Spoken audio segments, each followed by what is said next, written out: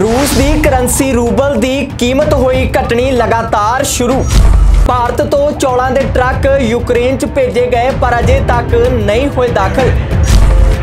ਭਾਰਤ ਨੂੰ ਝੱਲਣਾ ਪੈ ਸਕਦਾ ਹੈ ਵੱਡਾ ਘਾਟਾ, ਕਿਸ ਤਰੀਕੇ ਦੇ ਨਾਲ? ਦੇਖੋ ਇਸ ਰਿਪੋਰਟ ਦੇ ਵਿੱਚ।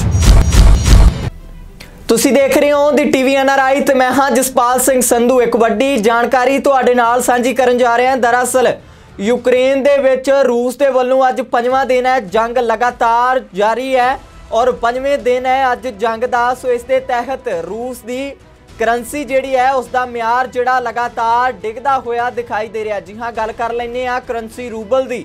ਰੂਸ ਦੇ ਤਾਂ ਉਸ ਦਾ ਦਿਨੋ ਦਿਨ ਜਿਹੜਾ ਮਿਆਰ ਹੈ, ਉਹ ਘਟਦਾ ਦਿਖਾਈ ਦੇ ਰਿਹਾ ਹੈ ਔਰ ਵੱਖ-ਵੱਖ ਦੇਸ਼ਾਂ ਦੇ ਵੱਲੋਂ ਬਾਈਕਾਟ ਜਿਹੜਾ ਰੂਸ ਦਾ ਕਰ ਦਿੱਤਾ ਗਿਆ ਸੀ ਔਰ 11 ਦੇਸ਼ ਨੇ ਵੀ ਮਤਾ ਜਿਹੜਾ, ਨਿੰਦਾ ਮਤਾ ਪਾਸ ਕੀਤਾ ਗਿਆ ਸੀ ਕਿ ਨਾ ਤਾਂ ਕੋਈ ਰੂਸ ਦੇ ਨਾਲ ਸੰਬੰਧ ਰੱਖੇਗਾ ਔਰ ਨਾ ਹੀ ਕੋਈ ਲੈਣ ਦੇਣ ਰੱਖੇਗਾ। ਸੋ ਇਸ ਦੇ ਸੰਬੰਧ ਦੇ ਵਿੱਚ ਰੂਸ ਦੀ ਕਰੰਸੀ ਜਿਹੜੀ ਹੈ, ਰੂਬਲ, ਉਸ ਦੀ ਵੀ ਮਿਆਰ ਜਿਹੜੀ ਆ ਘਟਦੀ ਦਿਖਾਈ ਦੇ ਰਹੀ ਹੈ। ਜੀ ਹਾਂ, ਉਸ ਦਾ ਕਰੰਸੀ ਲੈਵਲ ਜਿਹੜਾ ਘਟ ਗਿਆ ਹੈ ਤੇ ਗੱਲ ਕਰ ਲੈਨੇ ਆ ਪੰਜਾਬ ਤੋਂ ਜਿਹੜੇ ਵੀ ਟਰੱਕ ਜਾ ਰਹੇ ਸੀ ਚੌਲਾਂ ਦੇ ਟਰੱਕ ਜਿਹੜੇ ਯੂਕਰੇਨ ਲਿਜਾਏ ਜਾ ਰਹੇ ਸੀ ਉਹਨਾਂ ਨੂੰ ਰਸਤੇ ਵਿੱਚ ਹੀ ਰੁਕਣਾ ਪਿਆ ਜੀ ਹਾਂ ਤਾਜ਼ਾ ਜਾਣਕਾਰੀ ਤੁਹਾਡੇ ਨਾਲ ਸਾਂਝੀ ਕਰਨ ਜਾ ਰਹੇ ਹਾਂ। ਇੱਕ ਪਾਸੇ ਰੂਬਲ ਕਰੰਸੀ ਜਿਹੜੀ ਉਹ ਘਟਦੀ ਨਜ਼ਰ ਆ ਰਹੀ ਹੈ ਉਸ ਦੀ ਵੈਲਿਊ ਜਿਹੜੀ ਹੈ ਅ, ਘਟ ਗਈ ਹੈ। ਰੂਸ ਦੀ ਕਰੰਸੀ ਰੂਬਲ ਹੈ ਤੇ ਉਸ ਦੀ ਵੈਲਿਊ ਜਿਹੜੀ ਉਹ ਘਟ ਗਈ ਹੈ। ਤੇ ਦੂਜੇ ਪਾਸੇ ਗੱਲ ਕਰ ਲੈਨੇ ਆ ਪੰਜਾਬ ਤੋਂ ਇੰਡੀਆ ਤੋਂ ਜਿਹੜੇ ਟਰੱਕ ਚੌਲਾਂ ਦੇ ਯੂਕਰੇਨ ਜਾ ਰਹੇ ਸੀ ਉਹ ਵੀ ਰਸਤੇ ਦੇ ਵਿੱਚ ਰੁਕ ਗਏ ਨੇ ਔਰ ਉਹਨਾਂ ਦੇ ਨਾਲ ਨਾਲ ਇਹ ਵੀ ਦੱਸਿਆ ਜਾ ਰਿਹਾ ਹੈ ਕਿ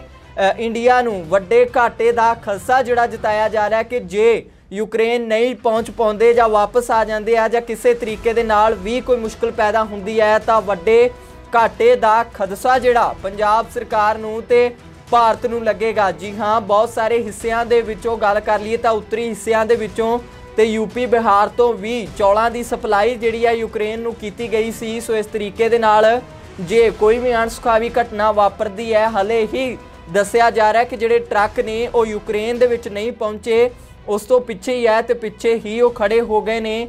ਹੁਣ ਦੇਖਣਾ ਇਹ ਹੋਵੇਗਾ ਕਿ ਕੀ ਉਹ ਪਹੁੰਚ ਪਹੁੰਚ ਜਾਣਗੇ ਜਾਂ ਨਹੀਂ ਪਹੁੰਚ ਪਾਣਗੇ, ਤਾਂ ਵੱਡਾ ਘਾਟਾ ਜਿਹੜਾ ਆ ਉਹ ਭਾਰਤ ਸਰਕਾਰ ਨੂੰ ਲੱਗੇਗਾ, ਇਹਦਾ ਖਸਾ ਜਿਹੜਾ ਜਤਾਇਆ ਜਾ ਰਿਹਾ। ਹੋਰ ਵੀ ਜਾਣਕਾਰੀ ਹੋਏਗੀ ਤਾਂ ਲਗਾਤਾਰ ਤੁਹਾਡੇ ਨਾਲ ਸਾਂਝੀ ਕਰਦੇ ਰਵਾਂਗੇ। ਤਦ ਤੱਕ ਲਈ ਦੇਖਦੇ ਰਹੋ ਦੀ ਟੀਵੀ ਐਨਆਰਆਈ